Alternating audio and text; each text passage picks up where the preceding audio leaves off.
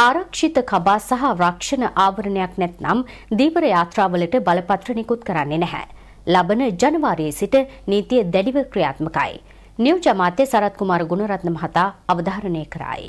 පහුගිය කාලය තුල නැවත සුළුසුලං තත්ත්වයක් ඇති වෙලා ආන්ධ්‍ර ප්‍රදේශයේ මෙහිඳලා කිලෝමීටර 450ක් එහා අපේ යාත්‍රා තුනක් පෙරලිලා දීවරයෝ 8 දෙනෙක් මේ වෙනකොටත් අතුරුදහන් වෙලා තියෙනවා අනිත් දීවරයෝ 5 දෙනෙක් මේ වෙනකොට මේගමුවට ආයත් දීවරයෝ පැමිණිලා තියෙනවා අනිත් අය තිමින් පවතිනවා. නමුත් මෙතනදිත් මම දකින්නේ විශේෂයෙන්ම ජීවිත ආරක්ෂක අබා පිළිබඳව.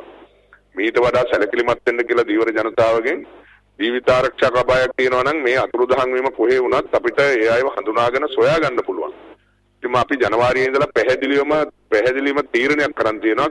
කිසිම කෙනෙක් ජීවිත ආරක්ෂක අබාය රක්ෂණයක් නැත්නම් අපේ අමාත්‍යංශයෙන් බලපත්‍ර කිසිම දීවර යාත්‍රාවකට නිකුත් නොකරන්න අපි තීරණය කළා තියෙනවා. ඒක අපි තාම තදින් ක්‍රියාත්මක කරනවා.